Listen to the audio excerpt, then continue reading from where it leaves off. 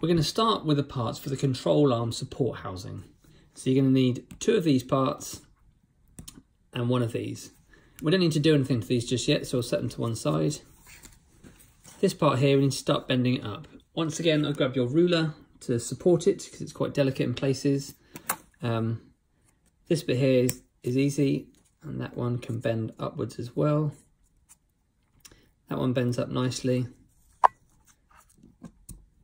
That one should bend towards you. Everything is bending up. When you get to this part here, just to avoid bending these bits too much, I tend to put a ruler over it and then bend it up. Do the same on the other side.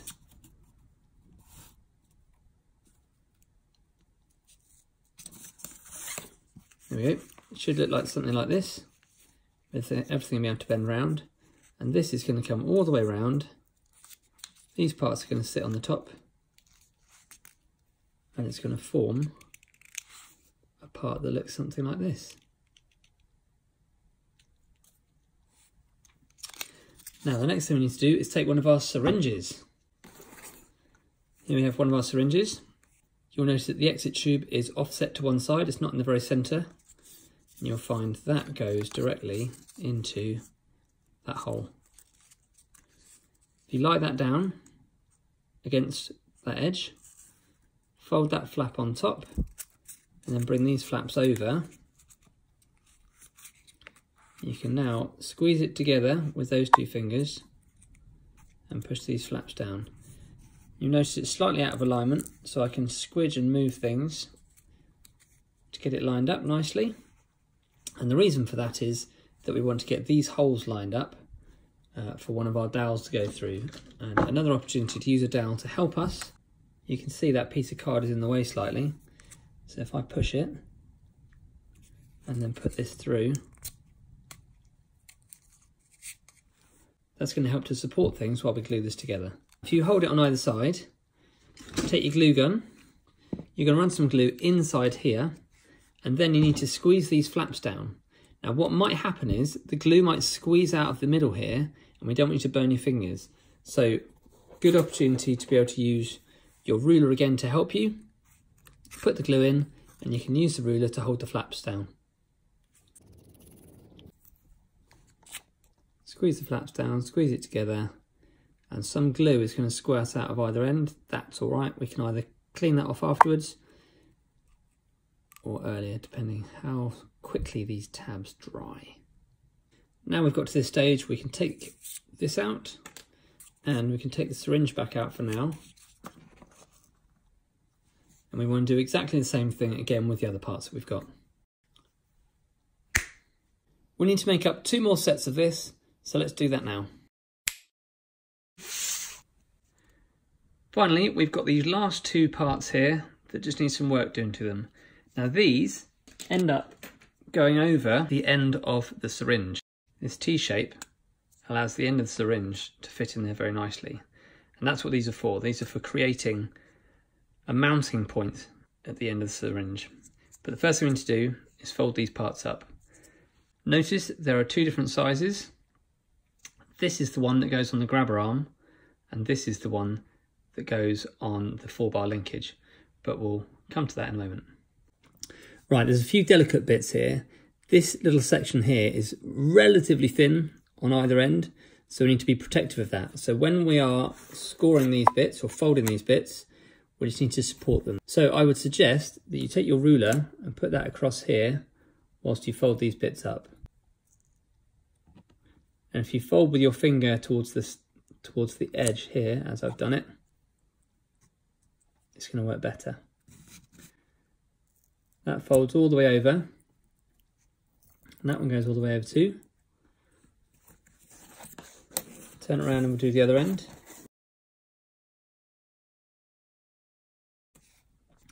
To secure them, we put a tiny blob of glue just here and here. Not too much, because we need to keep this whole T shape clear. Now we can just push those down. Just make sure they align nicely so we can still fit the end of our syringe into here. Repeat this on the other end. if you get any glue squidging out, pop this in sooner or later and that will actually clear the glue out for you.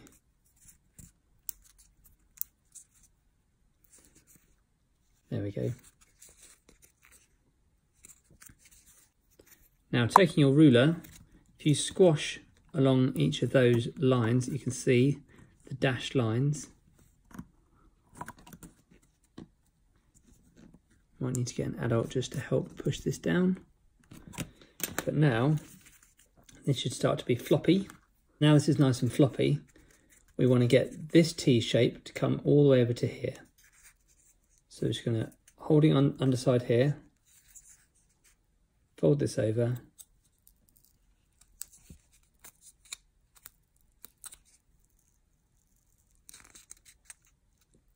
and start to squidge it in. If necessary, use your ruler just to help that get squashed together. Now you can see it forms a nice hole through there and that's where that's where one of our dowels goes. So this can now pivot. To hold this on, take one of your rubber bands and you'll see what these parts here are for now.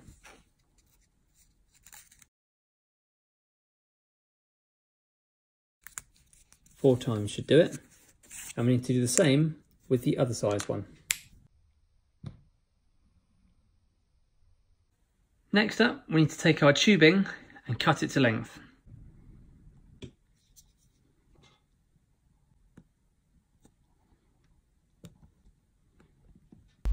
Starting with the longer of the two,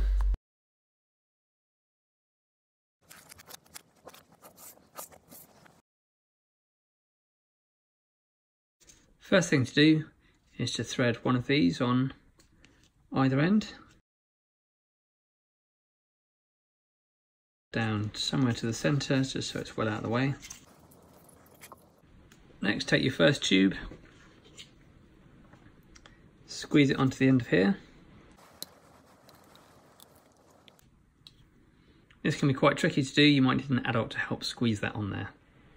Get some water, I'm going to put this end of the tube down into here. Now, start to draw the water up. You'll see there's a bit of an air bubble forming in the syringe. So go about halfway, then turn your syringe upside down, like that. If you then squirt back into the tube, it's going to push all of that air back out.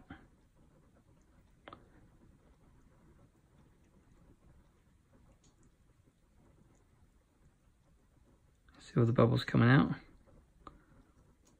And now you can draw it back up again. Squeeze all that air down, all the bubbles keep coming out, get all the bubbles out. When it stops bubbling, you can now keep the end of the tube in the water draw this all the way up. Don't go all the way. You want to go to about 10 milliliters. Now keep the end of your tube in the water. Get your other syringe, the one with the mounting already attached to it.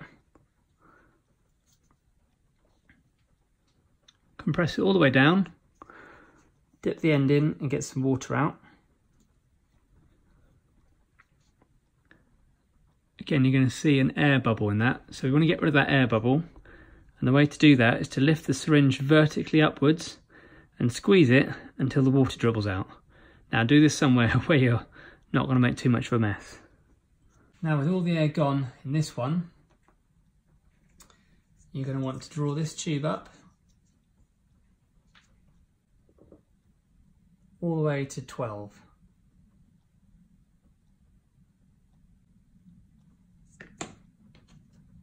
This tube, you want to squeeze almost all the water out, so there's just a bit of water remaining in the end of the nozzle. And then it's time to attach them together.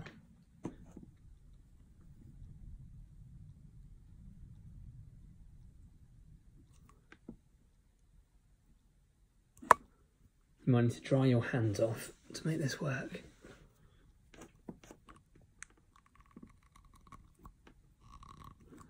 Now get yourself a cloth or something, dry off the end of these tubes, make sure everything else is nice and dry. Cardboard does not like water, it turns into porridge. So as long as we keep everything dry, we should be good. We now need to slide our cardboard bits back onto the tubes. I'm just gonna pull that through until we get to this end. You'll need to rotate this round so it's the correct way. You'll find that the holes in here are on the opposite side to all the numbers. So take that as far as you can for now. Now if you get yourself one of your pre-cut dowels, put that through here, squeeze all the water to the other end, and then put this end on a hard surface, and then you're going to want to pull on here, and this is to pull everything together. If You also want to support this end here. What you don't want to do is be pushing on these tabs because they'll get crushed. You might need to find an adult to help you do this. Cardboard is going to do a really good job of making sure this all stays attached. And there's one more thing to do, which is to put a blob of glue just in these back corners. Not too much, because too much will uh, melt the tubing, and then we'll have a, a wet disaster. So blob there, and blob there. Do the same on the other end. So this is nearly ready. This is the long hydraulic circuit. The bits that are remaining That T shape again fits straight over the end. Another one on the underside. And then you're going to wrap your rubber band around as many times until this is nice and tight. There we go. That's held on securely. Now we should be able to push that one out. As that one goes in. There we go. Do the same thing with the smaller components and then you should have two things that look like this.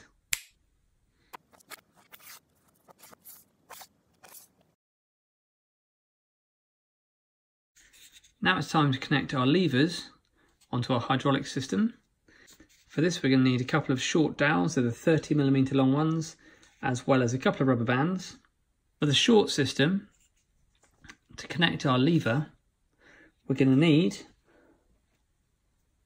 a 30 mil dowel, two O-rings and two fibre washers. Insert into the end, so it just pops through. match that into there.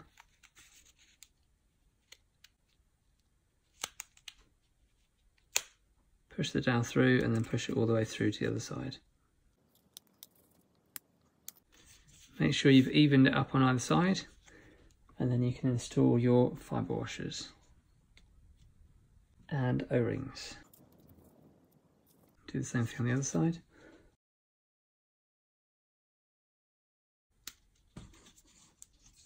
There we go. That's all connected together and pivoting nicely. We need to do the same thing with the other system, except we need to add two extra rubber bands to it. This is the, the long circuit this time, but there's a slight difference. So let's take our dowel, start threading that through. You now want to hang off one rubber band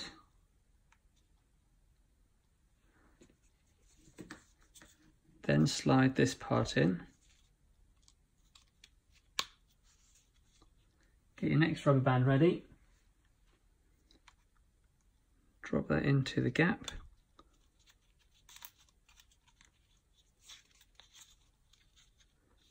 And then push that all the way through. Okay, so you should have two rubber bands hanging off that dowel. And now to add your fibre washers and your O-rings.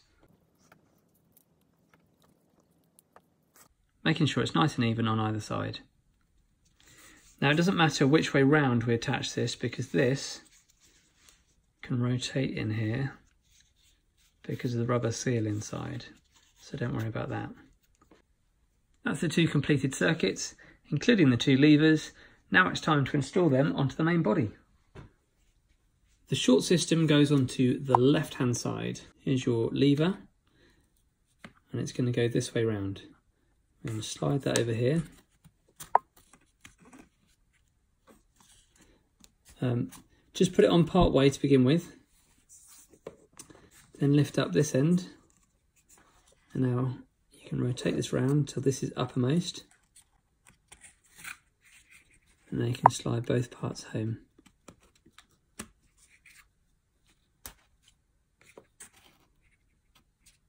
Now to put on your fibre washers and your O-rings. Now you want to get one of your remaining 65mm dowels and that is going to start to insert through here. I'm going to bring this up through the centre and you want to rotate this until the tubing sits upwards. It wants to be sat up like that and these parts are uppermost. Push them down into that gap pull that lever back, take one of your other remaining 65mm dowels and insert that through the side.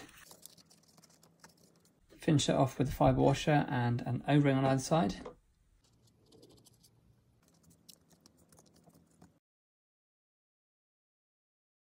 We now need to attach the lever on the other side, so let's get that done. Same thing as before. You're going to put one half of this on. Uh, but here, we're going to take one of our rubber bands, put it over there for a moment, and pop that on. Now get the rubber band and pop it over the top.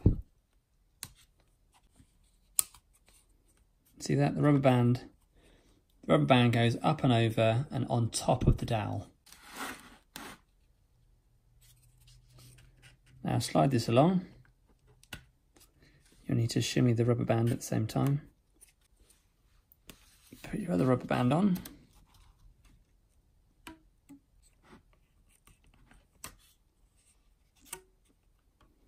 And finish it off with another fibre washer and O-ring on there.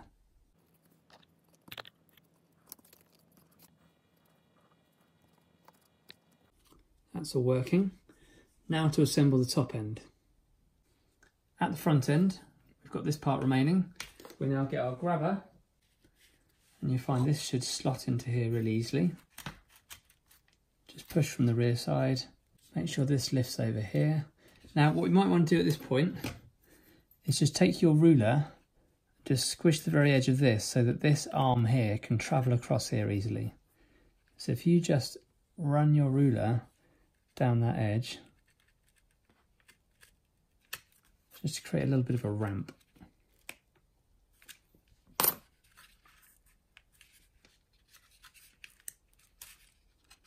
You'll find that should now slide over there really nicely. Now we can take our two parts here and install them on. So we're just going to compress this up by pulling that lever at the back back. We should be able to start to drop this onto the two pegs. There we go, and that should now work. There we go.